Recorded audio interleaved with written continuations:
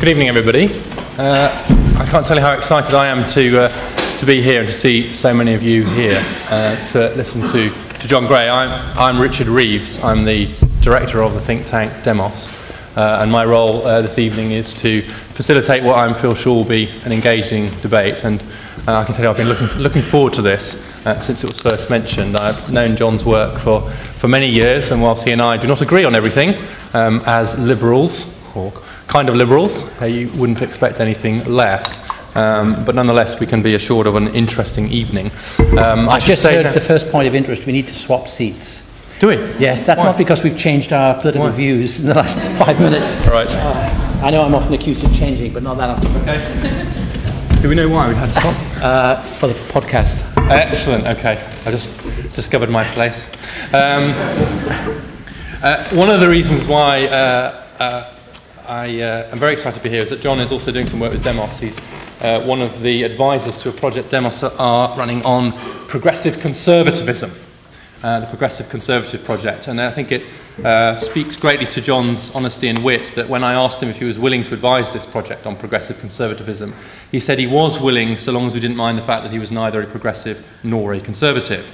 Uh, and I said that's exactly the kind of person that we, that we wanted uh, on, the, on the panel. Um, John uh, and I share an interest in John Stuart Mill. Uh, uh, we will try, I will try, to uh, prevent my interest in John Stuart Mill and liberalism generally to end up dominating the evening too much. Um, but actually, as a critic of liberalism, uh, a friendly critic, um, an engaged critic, I think John has always added kind of huge value. And I think particularly he, he has zeroed in on the weak spot of liberal thought more generally, which is its uh, its enduring belief in the perfectibility of human nature. And that with the kind of right system, the right design, that actually we really can become better people. There's a lovely quote from uh, Tibor Machan about Marx, uh, which is um, that utopians like Marx uh, are unable to accept the fact that people will make a botch of their lives without there being some metaphysical explanation and therefore revolutionary remedy.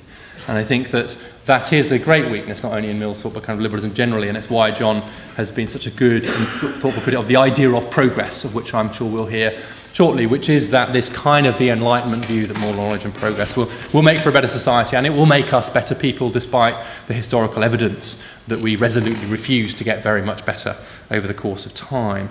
Um, he has been compared to John Stuart Mill. Was compared thus in a New Statesman uh, profile of John recently. Um, what I think um, uh, John certainly shares with, with Mill is a couple of points. One, uh, kind of instinctive liberalism, I think, although that liberalism's obviously undergone changes during John's career.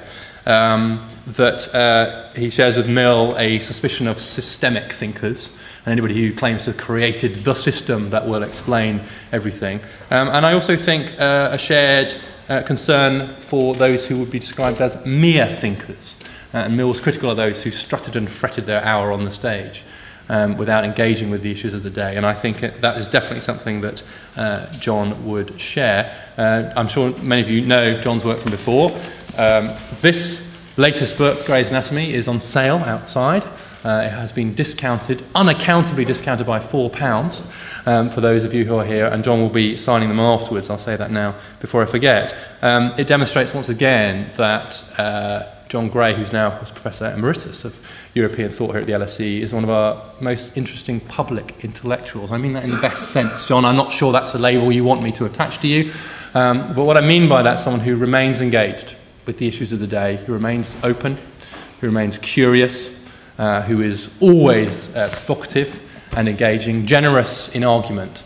Um, and all of that is a long way of saying, I'm very much looking forward to this, and over to you, John. Thank you very much for that very generous introduction. I'm glad you mentioned Mill because I spent um, several decades of my life reading Mill in general with profit and interest, uh, not terribly often with amusement.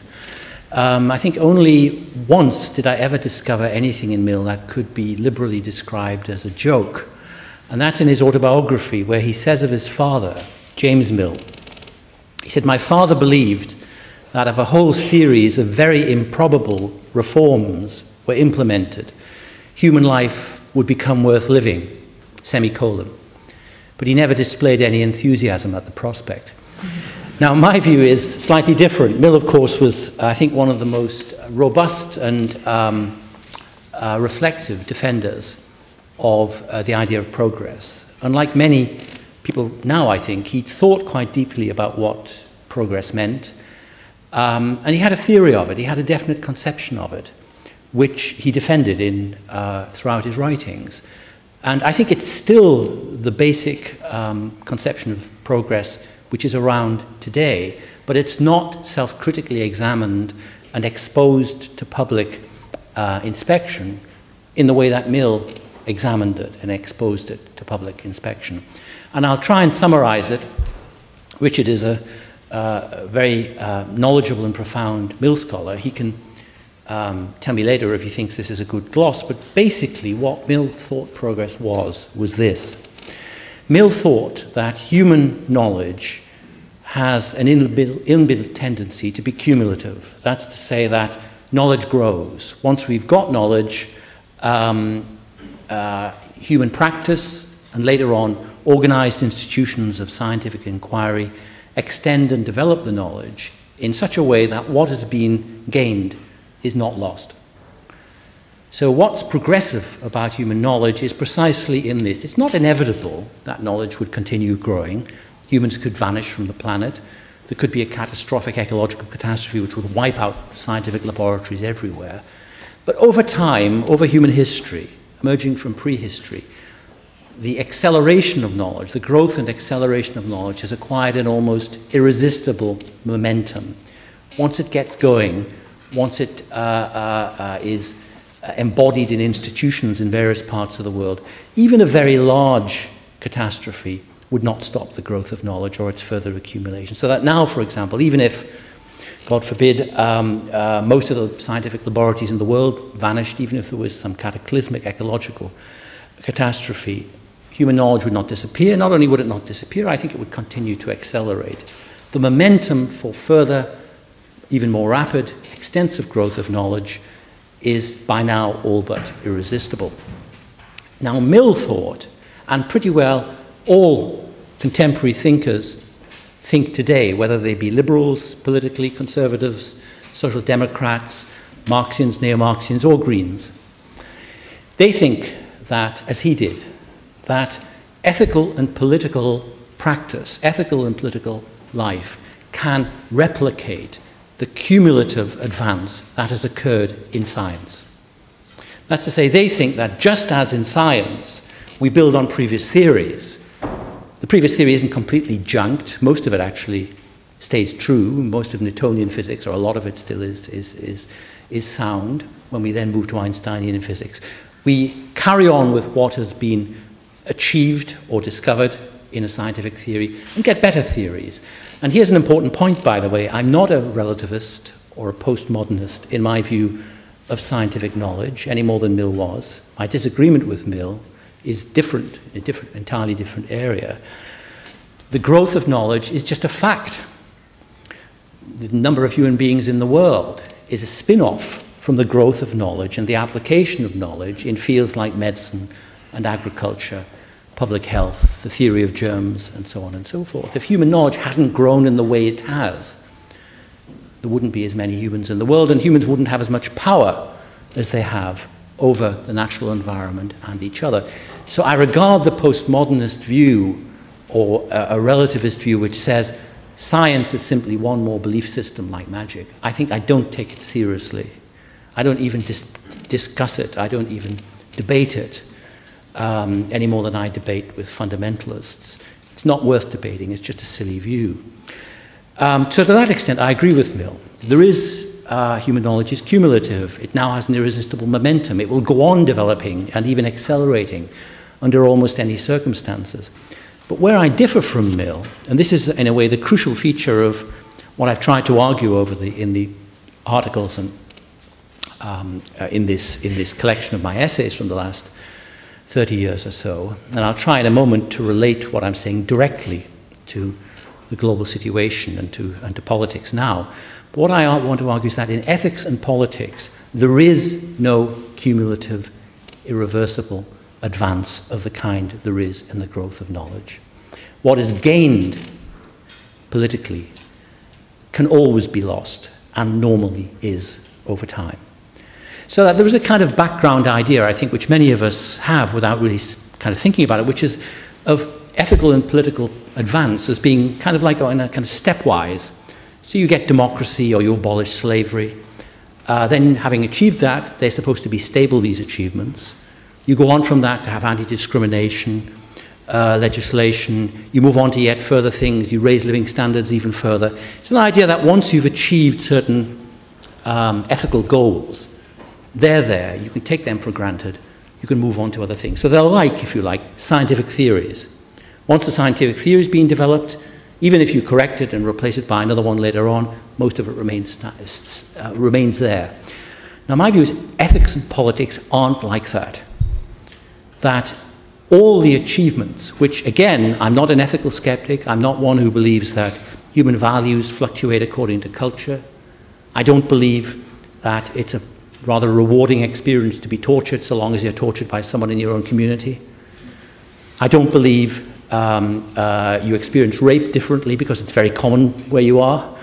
It's as horrible as it would be uh, anywhere else. There are some um, universal human values, and therefore there are some universal gains. But those gains can and normally do vanish in an eye when uh, society faces a major threat. Uh, long periods, even a generation or two of advance, can be uh, um, wiped out and frequently has been when circumstances change. Let me give you an example. The abolition of slavery in the United States and the Caribbean and elsewhere was a great advance. Um, it may have had uh, various limitations. It didn't go, wasn't quick enough, didn't go far enough, but it was basically a great advance. Does that mean that slavery vanished? Well, in the 20th century, as often happens, the evil of slavery came back under a different name. There was what was called socialist construction in the Stalinist gulag. They were slaves. Um, they perished in large numbers. Um, uh, um, the Nazis brought slavery back pretty explicitly, and now we've brought back various types of quasi slavery, human trafficking, um, bonded labor in uh, the Gulf and elsewhere. These are surrogates or things like slavery, but we call them something different. Just as torture was called enhanced interrogation, enhanced interrogation techniques. And these things happen quickly normally. Certainly it did with torture. I suppose the development of, of, of, of crypto slavery or the new forms of slavery in the 20th century developed over a period of time. But because they were called something different, and in the case of the former Soviet Union, associated with a progressive political project, they weren't recognized at the time by very many people for being what they were, namely a reinvention of slavery, a colossal, vast human cost vast loss of life, and apart from all the lives that were lost, probably 15 or 20 million, and that's not counting any of the lives lost as a consequence of the Nazi invasion, which was probably another 18 million. Um, apart from all those lives that were actually consumed, destroyed. Um, for example, in the Kolyma camps, the average lifespan was about three years. It couldn't easily survive more than three years. Apart from there were all the lives that were broken beyond repair, the human relationships that were destroyed, the lives that were shortened or cut or disrupted.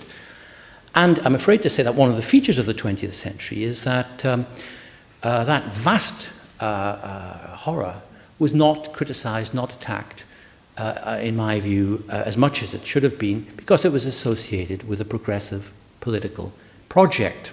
Now, there were people who attacked it. There were social democrats, liberals, conservatives, some Trotskyists, Marxists, and others who did attack it. But on the whole, I think it wasn't attacked as much as it should have done. And in the case of Nazism, a much more explicitly um, uh, project of annihilation and enslavement and genocide, it did let us remember, it did really uh, we were, almost went to the very brink with respect to Nazism in this country. Supposing Winston Churchill hadn't been around when he was, I'm not a universal admirer of Churchill, though I do admire him immensely as a war leader.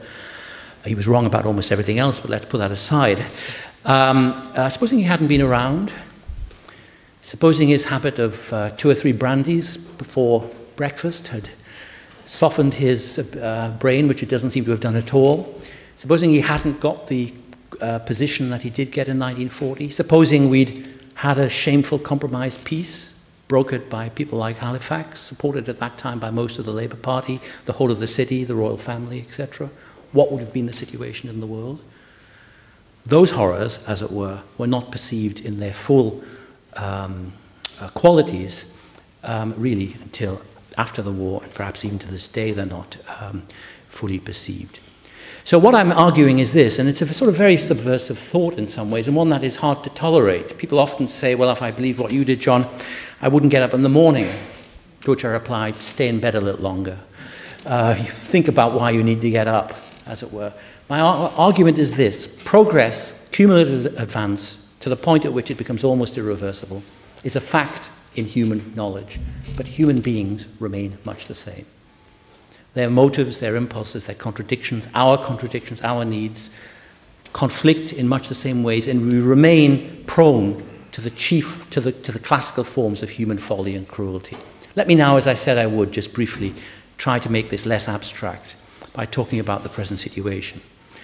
Uh, uh, with respect particularly to the global financial crisis. Now, the first thing to think about this is not so much that very few people predicted it, it's more that it was not supposed to happen. Think back a year, two years. How many people were there who said we could have a rerun of mass unemployment?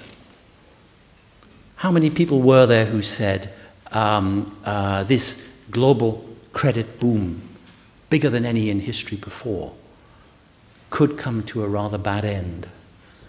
Indeed, will come to a rather bad end because it's, it's essentially unsustainable. How many were there? Um, how many were, uh, people were there who said, well, maybe we should build into our institutions uh, safeguards, fail safes, so that when this comes to an end, as it undoubtedly will, we won't suffer a major crash? Now, all that thinking, as it were, that type of precautionary thinking, people were talking about it in, in green circles, but in economic policy, almost no one talked that way. Indeed, think back in 1999 uh, in America, Lawrence Summers and others repealed, helped, were pivotal in repealing the Glass-Steagall Act, which maybe some of you may know about. The Glass-Steagall Act was a Roosevelt-era act uh, brought about in the Great Depression, which prevented um, investment banking and, and ordinary retail banking being merged. It stopped the banks from becoming hedge funds. That was repealed in 1999. Why was it repealed in 1999? Well, maybe I can go back, as it were, to 1989, when, the, when communism fell or began to fall. The Soviet regime, actually, Soviet state only ceased to exist a couple of years later, but the wall went down and it was obviously all over. In one of the pieces which I have in here, a piece from October 1989, I, I criticize Francis Fukuyama a long series of entirely unproductive and fruitless criticisms, I may say, because he's never changed his views at all. He might say the same of me. But basically, what I said at that time is um, this is a great triumph for freedom. In the 70s and 80s, I was an active anti communist. I don't regret that for one moment. It was a terrible system. I was glad it went down. But when it went down, we're in a different situation. We're in a situation in which lots of conflicts which have been frozen or latent will become real Lots of conflicts which have been suppressed will burst out. Classical old evils of ethnic nationalism, conflicts between religions, persecution of internal and external minorities, conflicts over water and hydrocarbons. All of those which had gone on in some kind of way, even during the Cold War, will be much more naked, much less repressed, and more intense. And that's what I said in 1989, in October 1989. So did some other people. So, by the way, did the first George Bush, well, not the very first, but George Bush Sr. Actually, when the wall went down, George Bush Sr., who, uh, when compared with his son, really does sound somewhat like John Stuart Mill, um, said, This is no moment for triumph. George Bush Sr., this is no moment for triumph. We're glad it's happened, but it's going to be immense, difficult, intractable problems. I agreed with that. Obviously, no one listened um, to him. Um, and what people said was kind of rather interesting. What they said was, that what people like Bush and a few others and I was saying, they said that was apocalyptic. Well, apocalyptic means, we were saying things like, well, there will be wars, you know, there will be conflicts, there will be ethnic nationalism, there will be uh, all kinds of nasty uh, um, human interactions will follow this, this, this big collapse. Oh, that's apocalyptic. Well, apocalyptic means, in biblical terms, it means an unveiling of, of, of mysteries, but normally it means the end of history.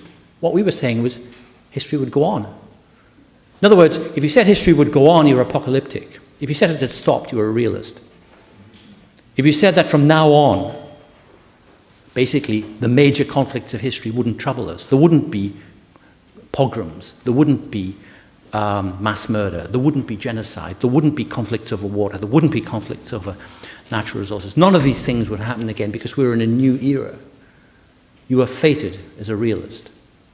If you said all these things will happen again, you are considered to be apocalyptic. And I was reminded at the time, by the way, I should say that in the late 1980s, there was a saying circulating in Eastern Europe when it was still communism, and the saying was, don't expect too much from the end of the world. That's exactly what happened in 1989 when a certain type of world did end. What ended then was just a particular imperial system, a particular semi-totalitarian by their then decayed system, which interestingly, by the way, and I think this may be almost unique, I say that, I know that's oxymoronic, but I can't think of another example in history, it ended without significant violence or war to begin with. The whole thing just melted away, vanished away, and I think the reason was that even the ruling elites didn't have the um, strength or the will to, um, uh, to, to, to uh, um, defend it. And what happened then, I think, in the 90s was, an, and, and really almost up to the present time, was an era of delusion and of self delusion. It was the idea that now that communism had gone, we had the makings of a universal system, a global free market, which once it had been set up, could work semi automatically. What in fact did happen was the growth of a type of market globalization that no one understood, I don't think it's true that the people who benefited from it for a while really understood it. I think the head of Lehman's, three or four months before Lehman's collapsed, was offered 40 million in bonus and given a choice as to whether he wanted it in uh, cash or shares. He took it 100% in shares. They vanished a few months later to nothing. I don't think the people who I don't have the kind of primitive view that these wicked financiers were simply raking in the profits and knowing what they were doing. They were raking in the profits without knowing what they were doing. Now that it's, it's gone up in smoke. But the key thing, therefore, to understand now, and this is where I come sort of back to the practical relevance of my skepticism about progress, is that this is not a crisis which can, in fact, be fully managed. It's not, in fact, a crisis that can, in fact, be fully solved. Um, where I think in the first stage of a sort of large scale unraveling, which will have various um, uh, aspects. One is that the process of deleveraging in the economy itself, which is of things falling back to more realistic prices, has got a lot further to go. But it might not go all that further because all over the world, or at least in America and Britain and some other countries, maybe China, the threat that this crisis has posed is now posing to employment to employment, to jobs, to the actual real economies, is evoking countermeasures, quantitative easing, various types of Keynesian money creation, and so on, whose ultimate effect, as well as its goal, is to, in a sense, resolve the debt crisis by cheapening the debts, devaluing the jets, and engineering inflation. And I think one of the questions you have to ask yourself is first of all, is it possible to engineer this inflation? Um, I think it definitely is, but I'm not sure it's been achieved yet because the uh, depressionary forces, are, uh, the destruction of wealth and demand is absolutely vast and still ongoing. Um, but is it possible? Yes, because you can create money now electronically. You don't even need to print it. You create it out of nothing, ex nihilo. But what will be the effect of that? I think Keynes would have understood this, actually, by the way. Maybe you can get out of the debt crisis by money creation, but you actually can't stabilize the system because the system was unsustainable before. It's tilted now into a period of radical implosion. You can avoid maybe, a, you can certainly avoid, I think, a rerun of the 30s. First of all, there's no Nazism. thank God. There's no communism, there aren't these mass movements. There are other mass movements, but not those. And also, the central banks have immediately reacted by um, money creation. So I don't think we're going to have, I might be wrong about this if I come back in two or three years, I don't think we're going to have a long period of deep deflation. I don't think that's going to happen. Because if the present money creation isn't enough, it'll be cranked up more.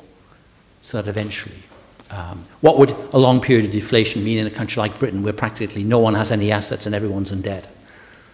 It would be completely crushing. So it's not going to happen. That's among the evils we needn't bother about.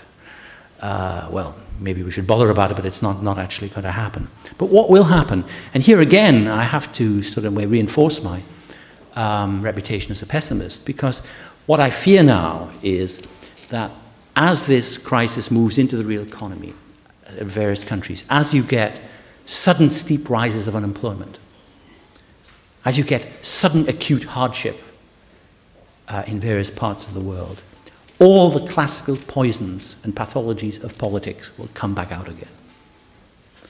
Uh, persecution of internal and external minorities, anti Semitism in parts of uh, Europe and elsewhere in the world, uh, ethnic and other types of religious conflict. All these poisons, which, as it were, are somewhat never removed, but which are somewhat um, neutralized by um, affluence, will come out. So you could say, well, you know, if you think that, what can be done? Well, I actually think that things can be done. I mean, we could even have done certain things about the um, economic uh, and financial crisis. For example, because you could say this is hindsight, except that there were people advocating it at the time, but people a year or so ago didn't listen to them. It would have been better to go for a wholesale nationalization of the banking system and to hive off the hedge funds. Not just, I'm, I'm not one of those who think that hedge funds should be banned or even excessively regulated, but what certainly should be done is that it should be made clear that there's a difference, as there was under Glass-Steagall and other types of regulation, with the ordinary retail banking system where your money is safe and if you want to speculate, or some people want to speculate, they can, but it's clear that there will never be a bailout. And if things go wrong, they have to, they have to pay the price. That would have been better. In other words, it would have been better to nationalize the banking system and enforce some kind of separation between those different functions. Whether it can now be done, I'm not sure, because on both sides of the Atlantic, the policy has been to throw resources into these black holes, some of which may be growing bigger because the value of real assets in the world, which are heavily leveraged against debt, is going down because economic activity is going down. So I think what we have to do, in a sense, is to prepare ourselves in advance um, for these classical human responses to sudden, sharp hardship and unemployment. Not to say that I think there's nothing worse, in a sense, than those people who say, well, we shouldn't think like this because it's gloomy and depressing. Well, I mean, it seems to me to be more gloomy and more depressing just not think about it and then for it to happen. Because it means we haven't prepared for it, and if we do prepare for it, maybe we can, if not prevent it, sometimes we can perhaps prevent some of the worst evils, but we can also, um, even if we can't prevent them, we can mitigate them. We know how to do with them. We have uh, um, uh, ways of coping with them. But if we think they're behind us, to go back to right what I started, if we think that Mill was correct in this respect, he's still a very relevant thinker to my mind. We can learn a lot from him, actually, partly because he engaged not only with the academy, uh, but all, uh, not even principally with the academy, but actually with the great movements of his time democracy, feminism, socialism, and so on. I think we can learn a lot from him. But where I think he was mistaken was in believing that the growth of knowledge, in and of itself, or by some clever set of constitutional and legal devices, which, once in place, would um, enable ethics and politics, would enable morality and civilization to show the same type of semi inexorable cumulative growth that we have in, in, in, in, in, science. I think that's just a mistake. And the evidence for it, in a way, is the 20th century. Isaiah Berlin, who was a great influence on me in many ways, I think made a very good remark about Mill. He said Mill was the least prophetic of writers. Practically everything that happened in the 20th century would have been a surprise to him. He wouldn't have expected the Great World Wars. He would never have expected Nazism. None of those things that could happen. And if you read Mill, you see why, to some extent. He says we're moving into the period of what he calls social astronomy. We can look far into the future and we can see this wonderful, vast, marvelous future.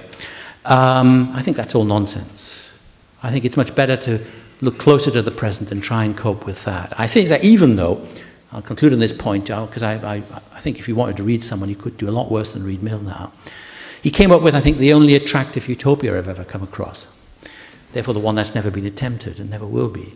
It was the, the stationary state society. His, his, his utopia was, he didn't think it was a utopia, but I'm afraid it is, uh, is that, is that uh, technical progress would continue, but it would be used not in order to expand production and consumption, it would be used in order to improve the quality of human life. And I think that's a sort of wonderful idea, as they never been attempted. Maybe something like that is floating around in Obama's America, and I'm glad that it is, but it's coming up against the enormous problem that all over the world governments are really struggling for fear of social and political upheaval. They're struggling to get the type of growth that collapsed a year or so ago going again.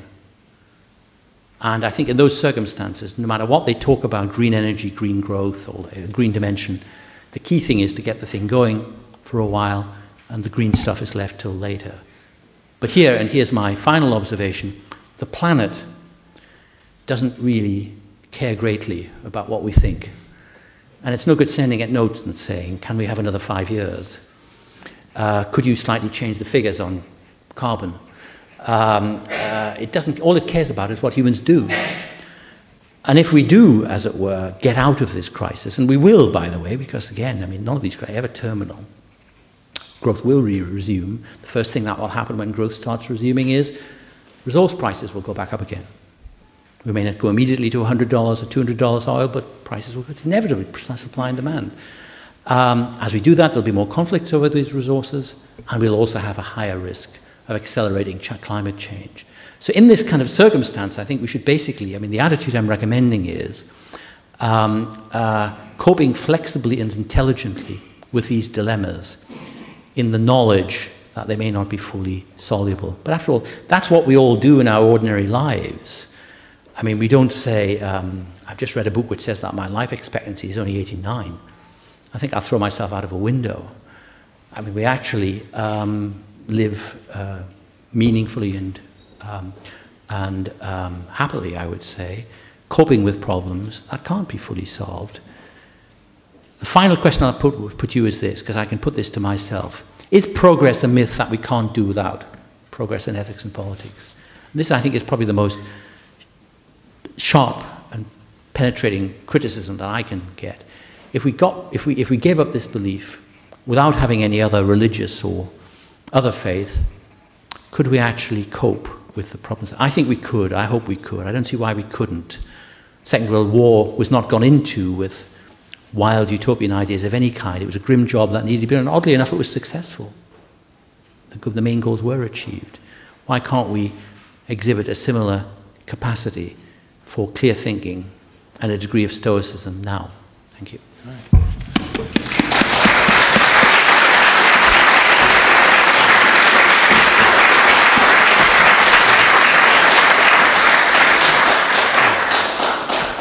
Uh, thank you very much for that, John. I will open to the floor in just a moment, but um, I will just abuse my position for a couple of minutes um, and push uh, John back on a couple of those points, I think. The first actually relates precisely to the question you set to us at the end, can we, can we do without it? Um, but let's go back a little bit. Your, your definition of mill, of liberalism mm. generally, is absolutely right. Even in the, the stationary state, he said, doesn't mean an end to moral progress. So the view that we would be morally progressive underpins Mill and liberalism. Um, you yourself have said there are, just now, there are, you've written this as well, there are universal human values. You've mentioned some of those.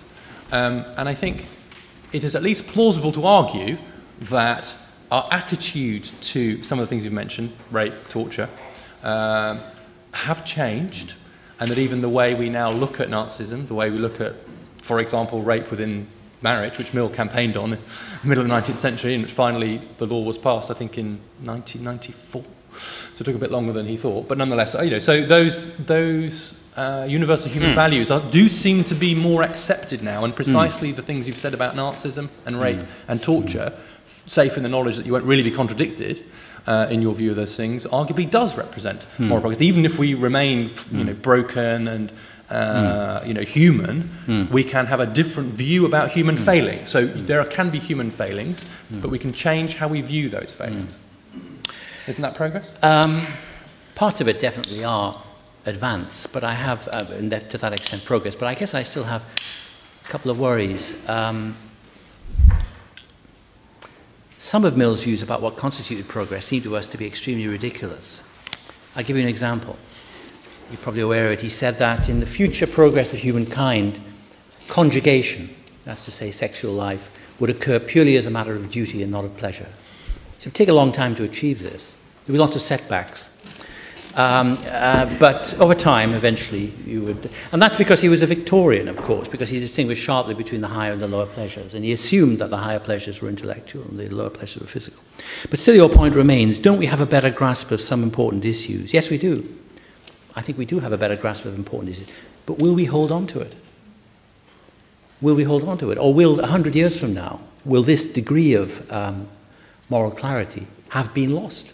I mean, if you look back over longer periods of human history, for example, um, uh, there wasn't the homophobia in the ancient world that there now is, or that there has been in Christendom and many parts of Europe over the last, most parts of Europe and of the Christian world over the last um, uh, 17 or 18 or 1900 years. Didn't exist. So that was regress.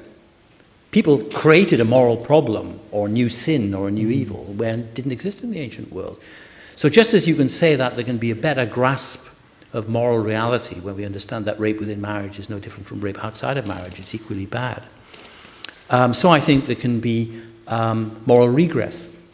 And so we're back to the issue of, um, uh, of, cumulate, of, of, of, of cumulative and near irreversible advance. So I think even in ethics, knowledge in ethics, learning in ethics, isn't like knowledge in the sciences. Um, it can be lost. Now, I know people will say, well, look, if we get better knowledge of human psychology, etc., then we can. But remember, knowledge of human psychology can be used for very bad yeah. purposes.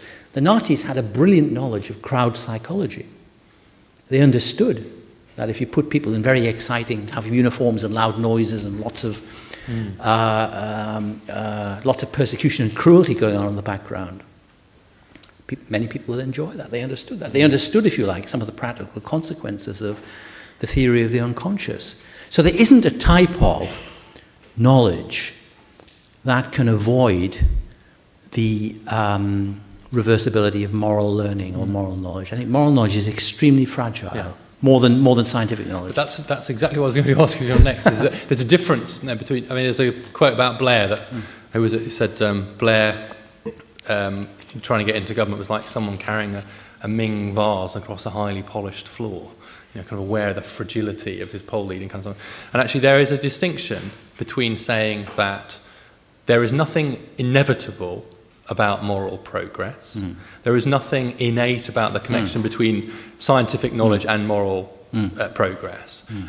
but and saying that there has not been moral progress. So, you, as a mm. point of fact, in just the same way that it is a mm. fact that mm. scientific knowledge, then the counter argument can be it is a fact that there has been moral progress in our attitude towards these very things. You're saying don't assume that because we've achieved it, we don't have to continue to fight, and that it might not be lost. But that's yeah. that, that, it's that's a completely yeah. different argument. You're quite right. We might lose it, but we, we have we have got some. You're quite right, but the belief in progress is more than the sort of observation. I mean, I, I mean, you haven't done this, but some people, as it were, who disagree with me, they say, well, there is progress. And at the behind of it is, well, look at me, aren't I progress? in other words, uh, you know, human history has been struggling. It's been jolly difficult to produce me, but finally it did. Uh, now, so I actually don't deny that um, there is, as well, there are facts, but progress is not a fact. Progress is a belief or a faith or a theory, if you like. And what it involves is the idea. It's something like this, that the changes that are brought in the genuine improvements are somehow mutually reinforcing.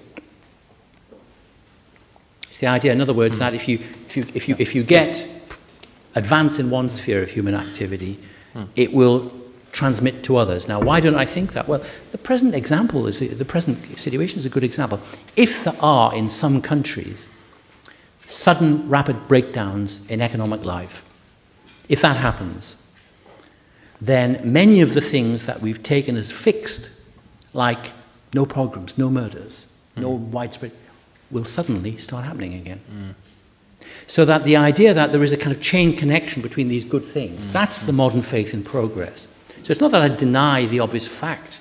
I don't think even Aristotle, not that Aristotle can be called kind of any kind of progressive, but uh, one of the dullest thinkers, I think, though a great one that one can really have. But uh, um, uh, even, but he didn't deny that there are better and worse states of human society. Are, that things can be gained and lost, mm. and that some things have now been gained, and we have a clearer view of what those gains are. But they're not linked together in the way that believers in progress imagine. In other words, some kind of exogenous shock or sudden event or human decision can absolutely wipe them out overnight. And that, I think, is, is what's missing in the theory of progress. It was certainly missing in Mill, because what Mill thought was, yeah. if you said to Mill, put it exactly that, um, human knowledge could accelerate while ethical and political life deteriorated. I don't think he could imagine that happening for very long. He would think that after, over time, human ethical and political life would be dragged along and would improve. Mm. That's what I reject. Yeah, I, think, I mean, actually, Mill, Mill was going to write an ethology, which was going to be a science of human nature, yeah. which would explain everything about humans and allow us to kind of run societies in a way mm. that were absolutely yeah. based on the same scientific understanding of human nature as we had for everything else. Um, and he never got around to writing that book. Um, and it's quite clear as you go through the reason he never got around to writing it was because he realised it actually couldn't be written. We'd never understand human nature in that way. I think you're a bit unfair about his views on uh, uh, conjugation, by the way. But anyway, mm. um, so, so turn to this point about progress as a fact yeah. versus progress as a faith. Mm. Because it seems to me I could plausibly argue that actually the point about progress is that it's precious can be reversed and we therefore need to hmm. continue mm. to kind of fight for mm. what we've got. Yeah, so I think that's fine. Mm. So it's conditional. Conditional view of progress is fine. But actually it seems to me your real assault is on the what it does as a faith, as a kind of view of, yeah. of the world. Yeah. Uh, and then you ask the question of us, is it kind of necessary? Yeah. You know, you describe it as the myth of kind of human progress. Um, and there I wonder whether, whether or not that might not be the case as well. Because just hmm. in the same way that we you know, we know mm. perhaps that we are difficult to improve. Mm. The view that we can improve ourselves, that we mm. can become better, mm. wiser, fitter, mm. whatever, you know, that we can come mm. to interesting discussions or, you know, make ourselves go for a run or whatever. They're all based on a kind of view that we can make ourselves better, right? Um, and I think we all know that that's kind of mythical. And we all kind of know that we're kind of kidding ourselves at some level. But it gets us part of the way there, right? So the astronomy point is kind of right. So I know that you know I'm never going to mm. you know run a triathlon or kind of you know write the book I want to write, or whatever. But but merely thinking that I might one day, mm. convincing, thinking I might, it's a total myth. But uh, may, it means I might get out of bed and slouch around a two-mile run and write the, one book. so isn't that so? They take that collectively. Okay, it's that's true. That's where, why, sorry, that's, why, that's why, where I disagree. Take that collectively. Yeah. You see, in in personal life, in private life, in the lives of associations, we can um, adopt goals um, which we might know consciously or half consciously are not achievable and still find uh, the experience worthwhile and even achieve more than we thought we could. Mm -hmm. But I think politics is different because you're using the, the power of the state, you're taking big decisions about resources and even about war and peace. And there I do not take the view, which is so common, where people said, well, we should strive for the impossible because we'll get closer to a better world by striving for the impossible. Um, one of the reasons I was so, so to speak, adamantly opposed to the Iraq War before the war ever started, a year before, uh, when I became convinced first that it was inevitable by then, wasn't inevitable always, if someone like George Bush Sr. had been in the White House, it might not have happened. But a year before the war um, happened, I thought it was inevitable. And I was completely convinced that it would be catastrophic. And I still have that, despite that view, despite the surge and some recent apparent improvement. Is that I thought the goals were impossible of achievement People would say, wouldn't it be better if you had democracy? Wouldn't it be better if you had this XYZ in, in Iraq? I would say, yes, it would be better if you didn't have this absolutely abominable regime which you've got there, which has done so many terrible things. But the risk of doing what was done was that you shatter the state, parts of it break up, mm. and then the situation of some parts of the population, religious minorities, Christians and others, women, gays, uh, uh, is even worse than it was before. You have a long period of anarchy and loss of life and of terror. And at the end of. No, I didn't mean. I, no, I said religious minorities and women. Perhaps you didn't hear yeah, me. no, it was an and. There was an and. I didn't. There was an and in between. Um, is worse than they were. Uh, is worse than before. So they would. The majority would be worse, and that would apply even if they were um, Shia women, who are in the majority of the religious uh, population. And I argued that at the time. And the, the, the, the, I think the general pattern of de public debate actually supported me, but the decision went the other way, as I knew it would. And the decision went the other way because Mr. Blair and others said tyranny is bad, tyranny is evil. We can't just sit about letting tyranny go on. We've got to attempt something. Even if it's impossible, the world will be better. Now, that's absolutely the opposite of what happened. If you go around attempting impossible things, not in your private life where uh, it may work, but in terms of decisions of war and peace, revolution or no revolution, uh, large scale government policies, if you go around attempting the impossible, normally, I would even say, normally, not perhaps always, but normally, the situation is worse than it was before. And sometimes you have great costs life is even worse for the people that you're dealing with. Now, to come back to your point, though, uh, Richard, about the myth of progress, it is a, a, a problem. It is an issue for me. I'm, I'll be honest about this, because, of course, I don't think a myth-free civilization is possible. I don't think myth can be eliminated from human life. In fact, I think that the idea that myth can be eliminated from human life is a myth. it's the myth of rationalism.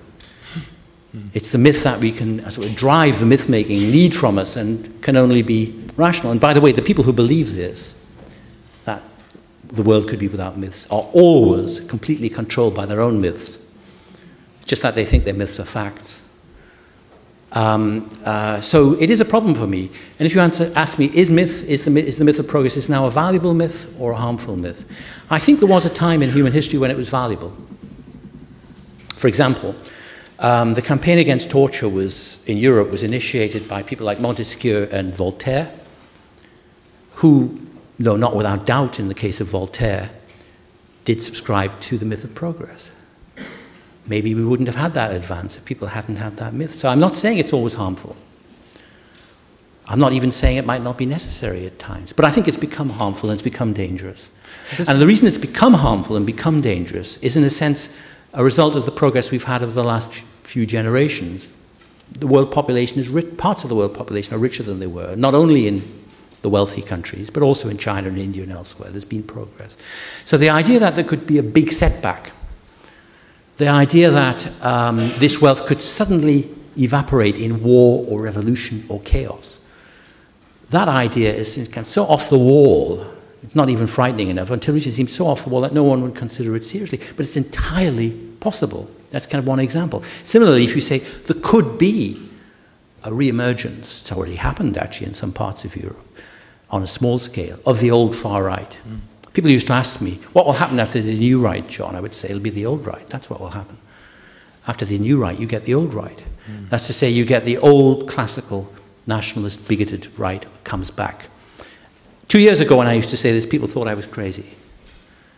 Um, because they thought that the growth would go on, that affluence would work its benign magic, and that all these horrible things would go away. As I think a famous economist said, I forget which one, he said, well, if you put people on a lovely beach, give them a cocktail uh, and uh, good incomes and expectation of a good pension, and uh, you won't have any fanaticism anymore.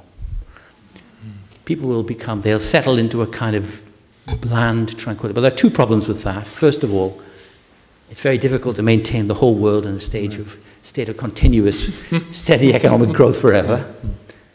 Capitalism is an unruly beast.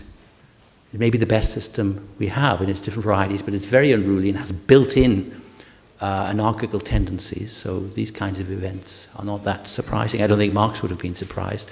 But secondly, it's not even true that very affluent people become so much better is it really true that um, the poorest people in the world are the most bigoted? I'm not sure that's true.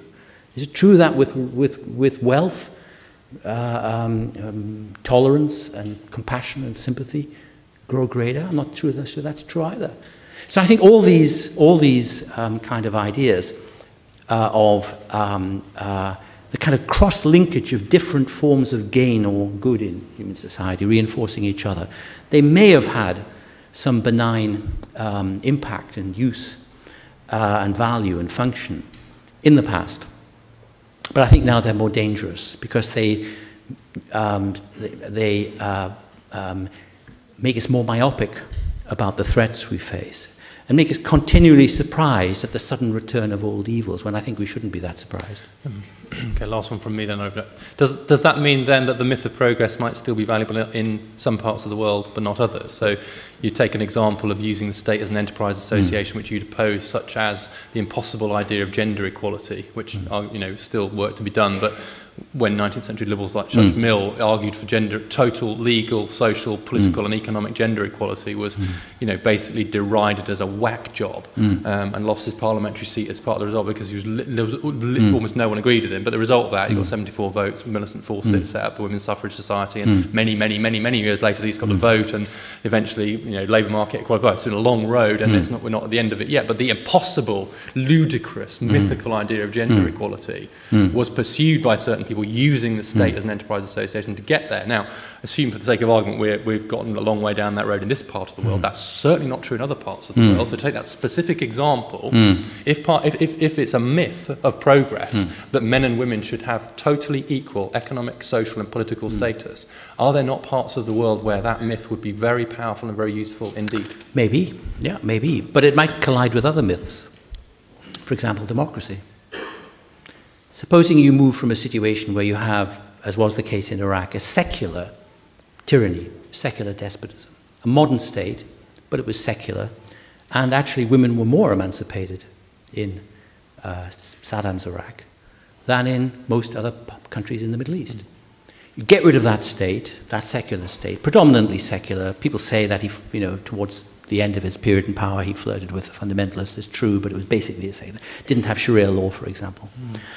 You had a secular state there, and it's broken down, so now you have um, um, a form of democracy in the sense that, I mean, I think it is a form of democracy, in the sense that you can't entirely predict outcomes of votes and so forth, but in which the position of women is, I would say, based on what I've heard from people who've written about this and who've talked to me, is significantly worse in many respects than it was before.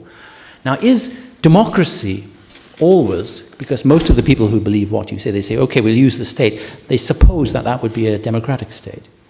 Supposing the dominant political forces in the country are hostile to gender equality.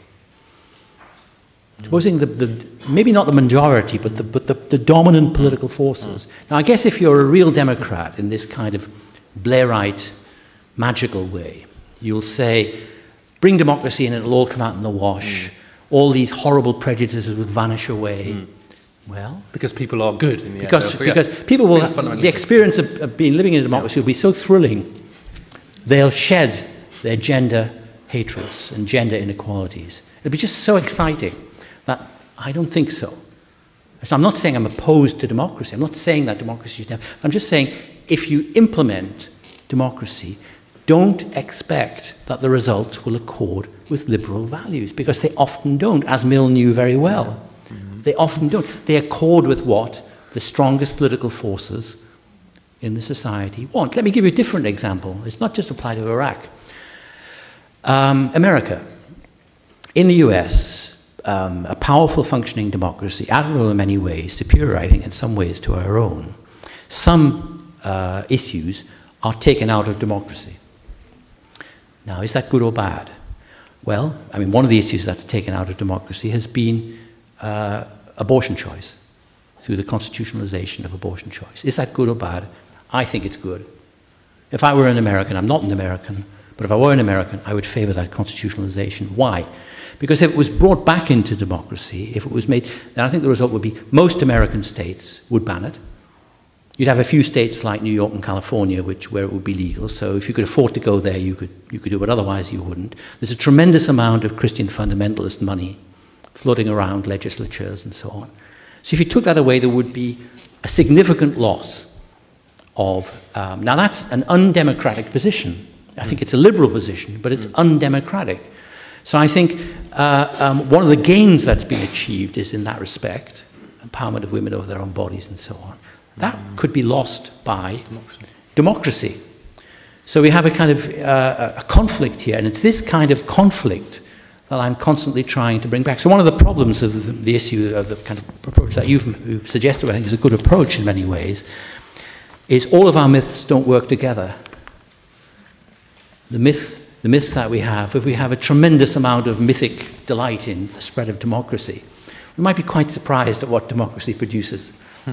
Uh, uh, not only in, places, in, in Iraq or Afghanistan, but also in our own country, in, our own, in, in the so called developed world. More democracy doesn't mean more freedom, it doesn't even mean more equality.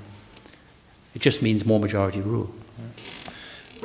Yes, the US is a, a legalistic liberalism, not a political. So I think on that note, on the, the point of the incommensurability of myths, uh, it will be a good chance to uh, open open things up. Um, are, there, are there mics? Are there, do we have row mics? One there and one, and then is there presumably there's a mic up there as well. How, how, three at once? Is that two, two at no, once? No, two or three at once would be good. It's fine. Okay, fine. Uh, hands, please. And if you want to identify yourself, that's great. The gentleman there, uh, the lady there in pink, and I'll take one more, and the gentleman up there. So yes. Hi, uh, Malcolm Lavoie. I'm a MSc political theory student.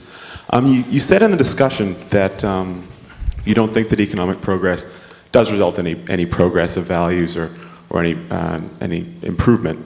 But, but previously you had said that you fear that um, the absence of economic progress in the coming years will uh, result in a return to sort of the old, mm. the old evils of uh, racial nationalism, and that sort of thing. Mm. I was wondering if you could uh, clarify that, please. Sure. Thank you. It's a good question. Great. Yeah. Thank you. Yes, Elena. Um, I read, I think, I hope I read it correctly, um, that you have said protest demonstrations don't really achieve anything. Okay. I'll say something about that here. Yeah. Yeah. Uh, and yes.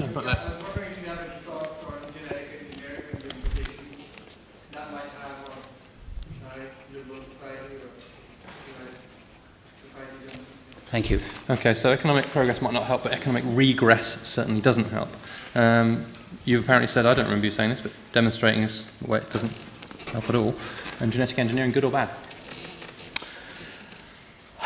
Well, I'm, I'm not one who wants to limit genetic engineering by any legal um, uh, uh, devices, except insofar as they would involve um, cruelty to humans or the abuse of humans or to some of the higher primates among the animals. So I think I don't want to limit it in any way, but I cannot be entirely, I can't share the sort of gung-ho optimism about it that some people have. Let me give you a slightly, in one of my earlier, one of my books which came out last year, I mentioned an episode which I think has now been historically established, but which wasn't um, entirely, uh, wasn't really um, uh, known fully about until after the collapse of the Soviet Union, which is that at one point in the 30s, Stalin showed an interest in, um, in breeding a new type of soldier.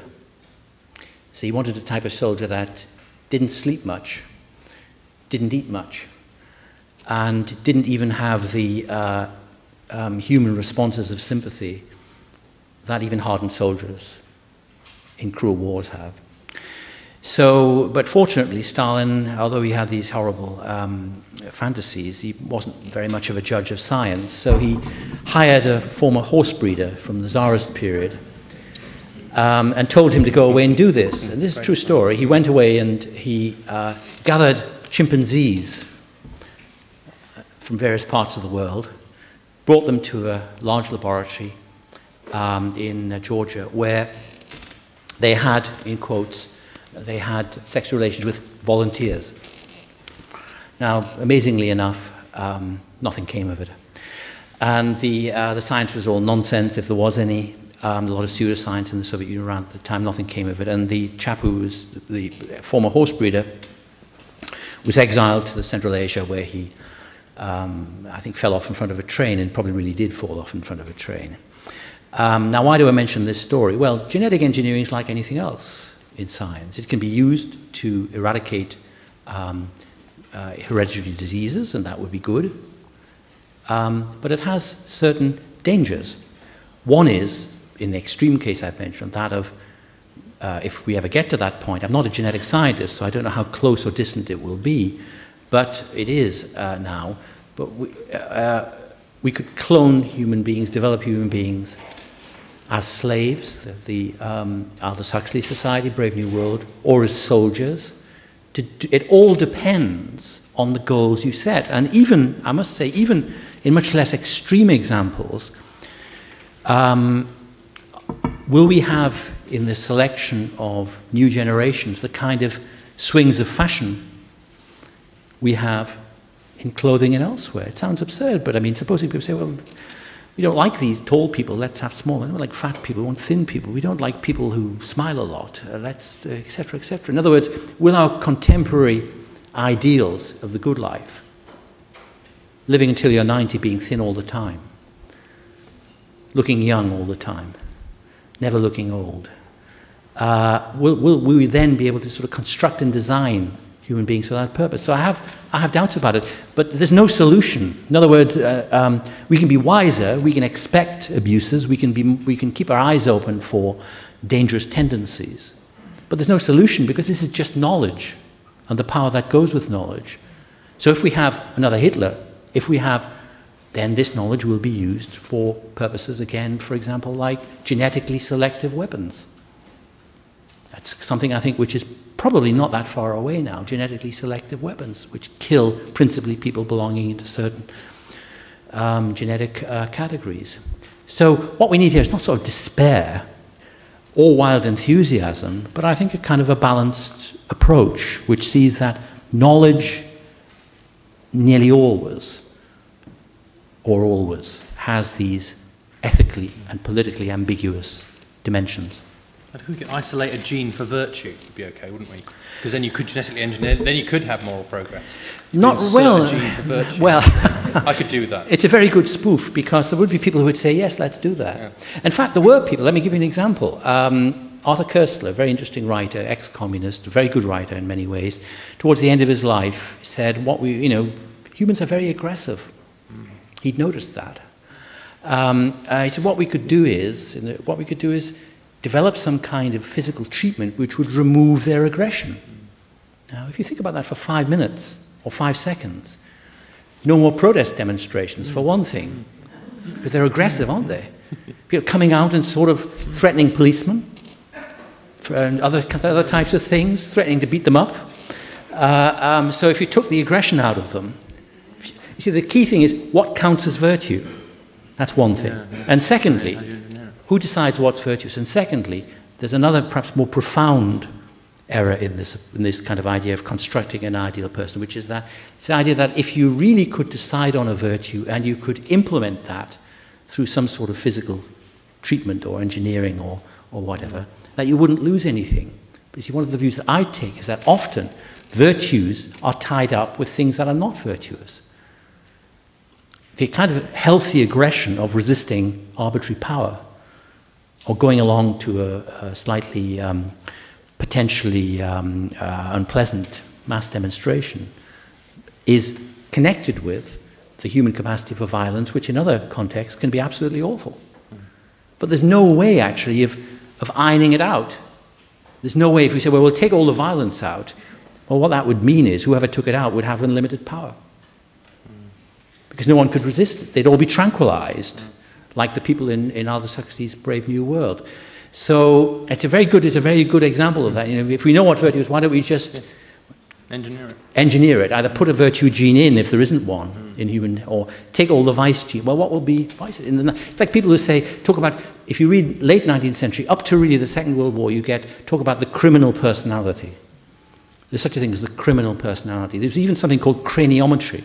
I'm not making this up whereby uh, uh, right up to the Second World War, if you had the misfortune to go to a court in Britain, but also other European countries, where they believed in craniometry, they test, they measured various parts of your brain to look for the criminal, criminal sort of uh, dimensions, etc. Now, it's all complete nonsense for a variety of reasons, but one reason is that one count, what counts as crime changes, sometimes for good reasons over time.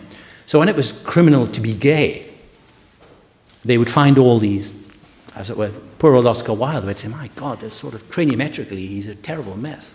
if, if, if it was true, and he could be bunged off. So it depends on, in a sense, moral learning. It depends on how clear a, grip, a grasp you have on underlying moral, moral reality. If it's the case, as is always the case, that the powers that be are confused, incoherent, occasionally right, but very often incoherent and stupid and bigoted and populist and so on, then what they would implement would be that. Imagine the governments that we have in the world now, but with the power to implant virtue genes, mm.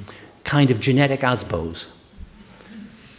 You just stick it in there and you've got the person for the rest of their lives.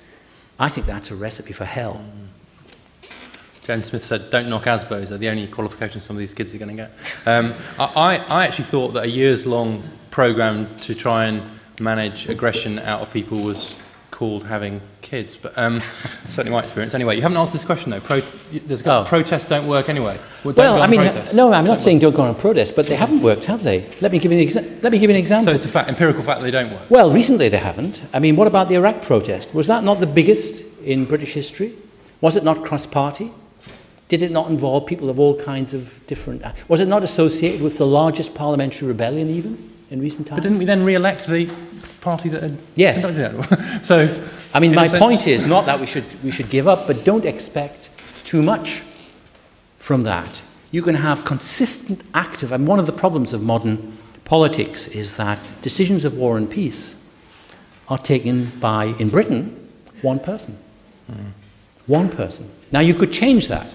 You could have a legislative requirement. Well, Brown says he's going to, doesn't he? Uh, well, Brown mm. says he's going to. It hasn't happened, as far as I know. You could change it whereby there'd have to be a vote in Parliament. That would be somewhat better.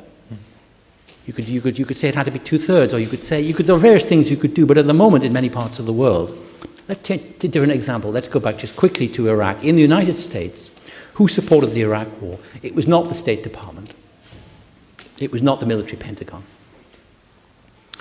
The film The Loop if you want to look at that, is, as far as I know, correct in portraying strong military resistance to the war, up to the point at which it was not any of the main organs of American government, it was a few people in the White House.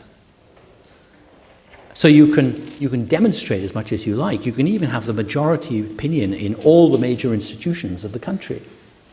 And still, a major decision like going to war can happen. So I think that's a, it's kind of an example. It's not only protest demonstrations that can't stop that. Okay. Even the leading institutions in the country have, weren't able to stop it. All right. You haven't.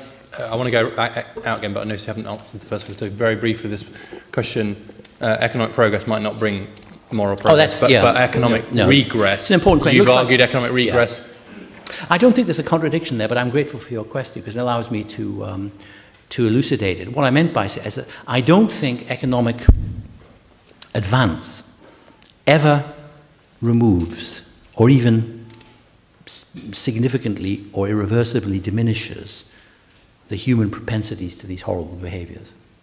They can sort of mask them or neutralize them for a while. But in a sense, my argument is consistent, I think, with what you're saying, because what I'm saying is when that um, process of economic tranquilization is withdrawn, these uh, human responses emerge. Now, you could say, well, that's consistent with the view. I think I mentioned this earlier on. If we could get, if we could keep the economic growth going forever and not slowing down, if there were no crises, if there were no booms and busts, then we'd have, we could get rid of all these behaviors. But precisely because humans are what they are, that can't be done. What do I mean by that? I mean leaders, uh, thinkers, political leaders, even heads of central banks will become intoxicated by the folly of um, rapid, incessant growth and all the profits that come from that. So they will engage in the kind of absurdist policies that we've had in the world economy or parts of it in the last 10, 15, 20 years. That will then lead to a breakdown, as is now happening. And in parts of the world, the response will be these classical evils. So you might be right in the sense that if we could unendingly, if we could engineer an unending growth, then in some respects, some respects, certain types of um, nasty behavior would be reduced. But as I also said earlier, I'm not completely convinced either that poor people are more prone. Not, i mean, is an Eskimo community, or Inuit as they're now called, is an because they were destitute, had almost no wealth, or a pygmy community, or pre-invasion Tibet, because they were very poor, were they more intolerant, more persecutory, more cruel, more savage? I don't think so. Okay. Another round. Uh, gentleman there, the lady there, and the gentleman up there. Thanks. Um, I wondered whether and, and, or how you distinguished your suspicion of progress. Can you hear him? Is that working? I can hear, but I don't Okay. know about the Can, you, can other can you hear him? Okay. I wondered whether, and, and if so, how you distinguished your suspicion of progress from that which I suppose characterises quite a dominant train in 20th century thought in Europe, at least, um, of the sort that I guess came out of Freud and Nietzsche and Marx and has been quite dominant in, in the academy, if not outside the academy, for the last 30 years. H- how would you locate yourself in that tradition? Okay. Okay. Uh, yes, sorry, yes. Lady there. Um, I'd like to ask, uh, you, you made this comparison with uh, science, With with science. silence. Science. Oh, science, yeah, sorry. So, science and how um, poli- policy and ethics is different. Yeah. And I was just wondering, because science is a system that bypasses human nature, really. It's like a set of rules that, although scientists can be bigoted, bigoted or they can, you know, get attached to their pet theories and things like that, they do not get into the system. At the end of the day, you have clear knowledge. I wonder whether you would think that progress can be defined as, at some point, getting a set, I don't know, rules for, or um, an idea of how we could have a system that would bypass the Mm. human nature. We cannot change it, but perhaps we can have a political system that Mm. safeguards. And whether affluence could be a step towards that, exactly because it neutralizes. So it would give us the space to realize these things. And would you, my question basically is, would you describe that as progress and whether that would be, you know, valuable? Mm. That's a great question. Okay. Mm. And uh, yeah, gentleman. There's no microphone, so... It's all right. We can hear you shout. We can hear. Population increase and environmental collapse, I'd just be interested to know how you think the next 90 years are going to be. Next 90 years. 90, Okay. okay. So, uh, I, I, I once worked with someone who used to give uh, tell companies they needed 500 year plans. So 90 is quite. Uh, and yes, short term. The other questions exactly too short term. Um, differentiating yourself from other skeptics of uh, progress in the 20th century isn't bypassing human nature progress and 90 year plan. Mm. If you do it reasonably swiftly, John, I can get another round. Okay, I'll try to be very quick. Um, 90 years and 90 seconds. Um, I am not sure Freud is the same as Nietzsche in this respect. I mean, they were made, I mean, Freud did believe in progress, but he thought it was extremely fragile and could be undone. I mean, he wanted progress. Um, I think if you're interested in Freud, one of the most fascinating documents are letters he exchanged with Einstein in the run up to the Second World War, where Einstein thought that knowledge and education and so on could eliminate, eliminate war. Einstein said, no, can't eliminate, won't eliminate war. War is too complicated, intractable, has other sources. But nonetheless, uh, I mean, I would be, in that sense, closer to Freud, although um, I'm not even convinced that the kind of modest progress that he um, fought for, I'm convinced it's real and has been achieved in certain respects. I'm not convinced it can last, but I think I'd be closer to, to, to Freud than to the other thinkers you mentioned.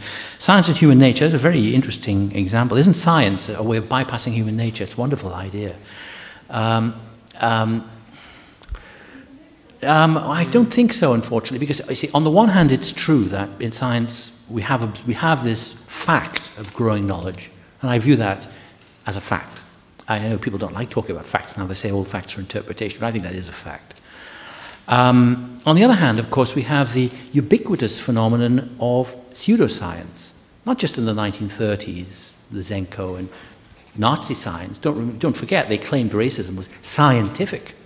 They claimed that, and they actually drew on thinkers like Galton in England, 19th century anthropologists, who did claim that racial, uh, the difference between so-called races were grounded in science. And I think pseudoscience, I think the, at any one time of, in the development of science, science is inevitably caught up in the confusion, the folly, the power conflicts of the time. And I mean, I think actually, I mean, there probably are economists here who might disagree with this, but a lot of economics has been pseudoscience. Quite a lot of economics has been actually pseudoscience. Not the greatest economics. I'll give you a quote. I was just reading um, Maynard Keynes, a very, very, very great economist, as well as a very great thinker and cultivated human being. And at the end of a long, remember, he wrote a book on probability, a treatise on probability. He's one of the modern uh, thinkers who um, attempted to have a theory of probability. And at the end of it, actually, at, one point he says, he said, well, can we really think about the probability of the future price of copper or new inventions or, or uh, new industries? He said, no.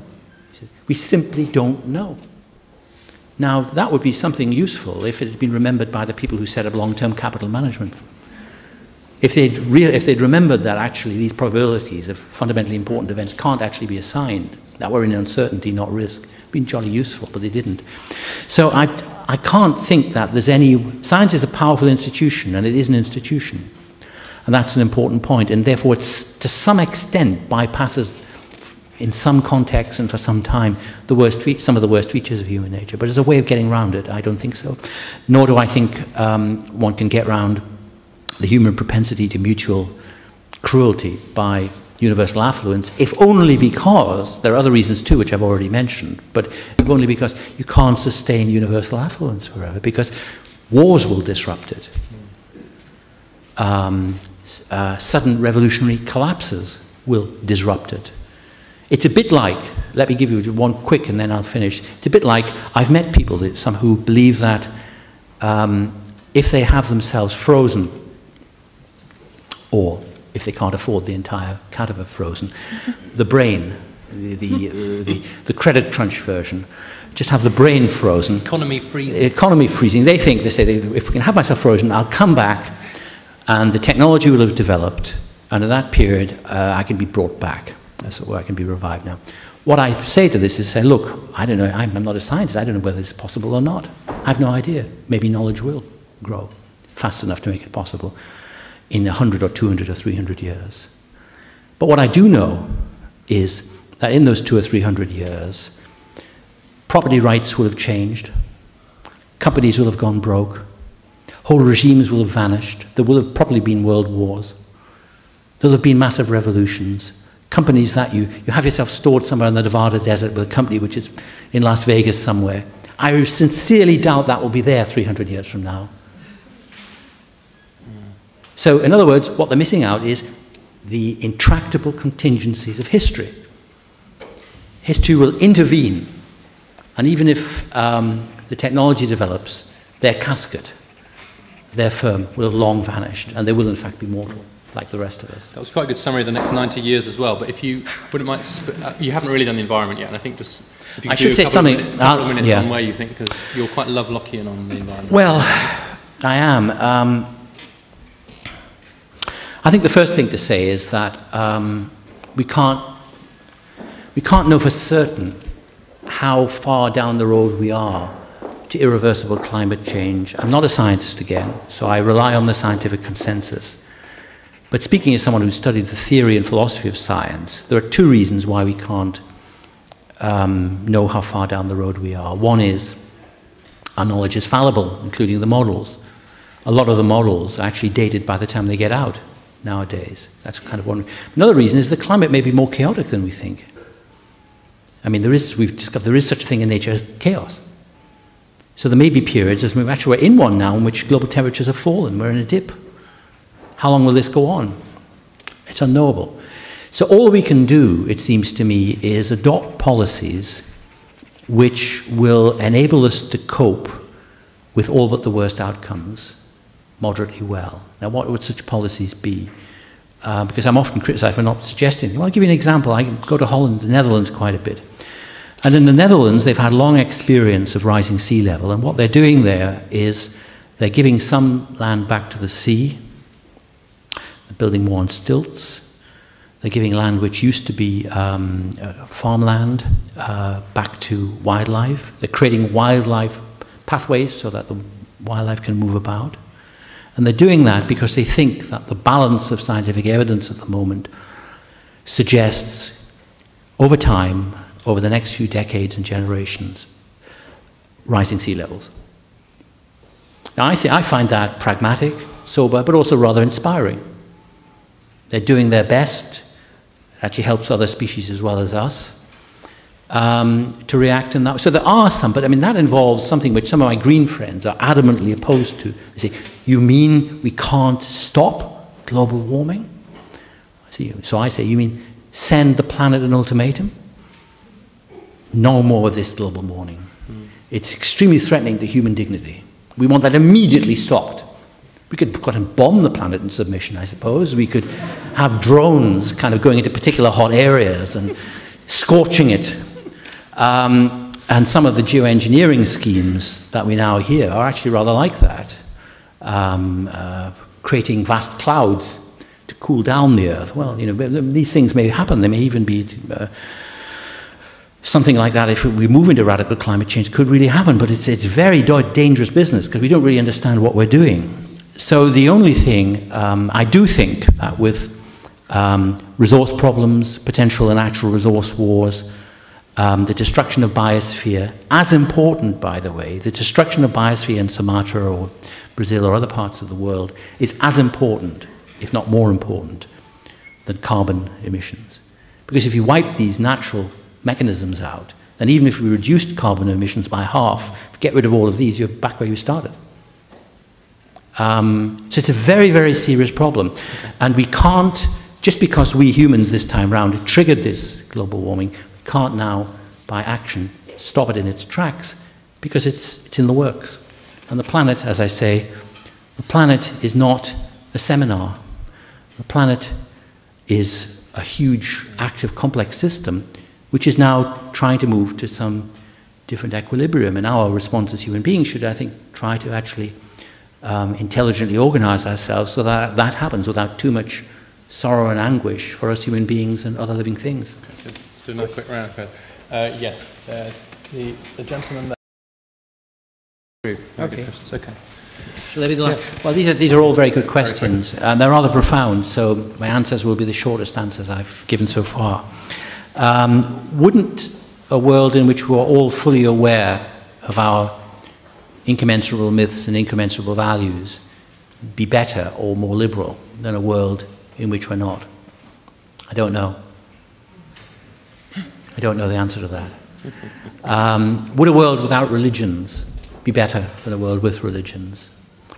I've criticized what I call evangelical atheists who are absolutely certain, indeed adamant, that a world without religions would be better than a world with religions. I don't know. Partly because it's unimaginable. Partly because I think none of us can know whether we are ourselves free of myths. I'm not sure that I am. I'm not sure. We, we never know. Our thought really emerges. Our conscious, critical, rational thought is always partly shaped by forces we're not fully aware of. And we can get glimpses in them, which is why Freud was a great man, a great thinker. But, uh, but he had myths. I mean, he had the myth of Eros and Thanatos, love and death, lots of myths. So I don't think we can do that. I think, practically speaking, I'm more inclined to um, try and humanize or temper myths than to get into a situation which is impossible or even mythical of not having myths. Is the Enlightenment sort of, aren't, aren't there good things about the Enlightenment? Yeah, plenty of good things about the Enlightenment, but the Enlightenment is not just one thing, of course. The Enlightenment is many different types of um, thinkers over periods of time. So the Enlightenment includes um, Spinoza, Locke, um, Mill, um, Marx, Lenin, the Jacobins, even some of the 19th century racists from whom the Nazis took inspiration saw themselves as continuing an Enlightenment tradition. They said, we're going to have a, a science of race. It's not going to be based on mere prejudice from now on. It's going to be based on knowledge. So if we kill people, we know why they're killing them. Um, Engels, for example, a rather good new book about on, uh, come out recently uh, on Engels, um, says uh, there he's in favor of what he calls non historical peoples fading away or being encouraged to fade away. Very common attitudes like that in the 19th century, on the progressive left as well as uh, um, as well as the right. So my answer is yes, there's plenty of good things about the Enlightenment. What I suppose really um, uh, uh, annoys me or what I criticize is the idea that the Enlightenment was entirely benign and we can solve all of our problems by going back to it. What if the Enlightenment included Lenin, included the Jacobins, included even some of the Nazis? I don't see that it's a simple solution. It's really actually a type of moral panic. It's the idea that, well, we really need something strong to go back to. Let's go back to this mythical thing called the Enlightenment. It's very like religious fundamentalism. Let's get away from all this confusion about what the Bible really means and let's really just decide and go back to it and stick to it, then we'll be all right. You won't be. You'll have a kind of combination of adamant certainty with complete confusion, which is a very common contemporary condition. Um, my, are my views falsifiable? Good question, because I do, I'm not a Popperian, but I do admire certain aspects of Popper's thought. Uh, perhaps he didn't always implement it himself, but then none of us does. But um, um, I do think there is a responsibility on people, including myself, who say things about the world to be ready to specify falsification conditions. In other words, uh, if you would say, what would change your view of the Iraq war?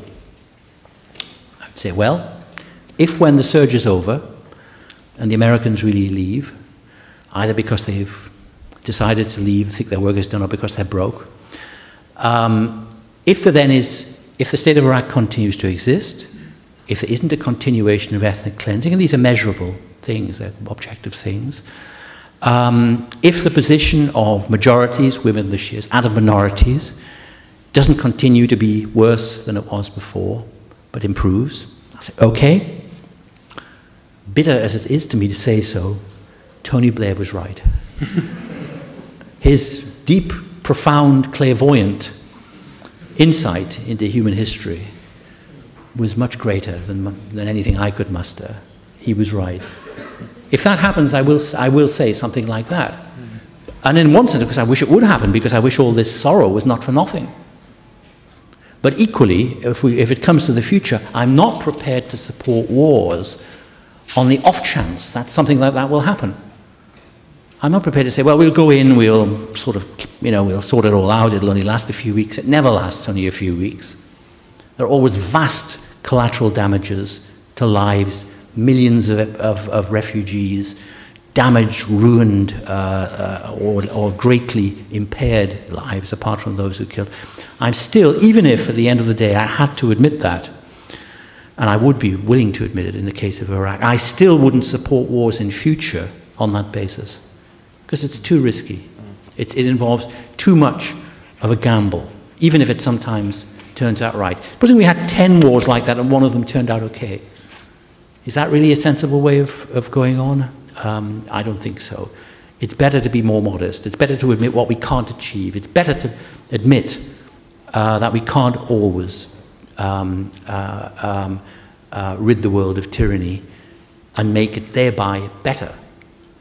Because sometimes anarchy or breakdown or terrible war, protracted many sided civil wars, are even worse than tyranny. So I hope, I mean, I haven't answered the question about the next 90 years, right. and I won't attempt to answer. I mean, I'd probably end up as, as, as, as wrong as, as Mill. But if you ask me at the present what I think the big story is for the next 90 years, then what I would say is, on the basis of the scientific consensus, as a non scientist that I understand, the big story will be climate change. So, unless the science is all wrong, which I don't believe for a single moment, I don't believe environmental skeptics who say this, they're usually just dogmatists and deniers. Mm-hmm. Unless that's all wrong, the big story the big story is climate change. And there, what we need, I think, is flexibility, pragmatism, sobriety, technical virtuosity, and not imagining that there's some silver bullet that can, that can solve this, or blaming it all on some human group. Because one of the things we absolutely do know from history for certain, I don't think this will sadly ever be falsified, is that blaming deep, intractable problems on particular human groups is always disastrous. Well, if I if I speak for anybody else in the room, um, that's been a hugely enjoyable evening, and uh, I have learned a great deal. Um, Uh, as I hope have you, you should of course be aware that if you subscribe to John's view, the fact that you've learnt a great deal in no way makes you better people as you walk out of this room, but I cannot think of a better way for us to have spent our evening. Uh, I'd like you to join me in thanking Professor John Gray.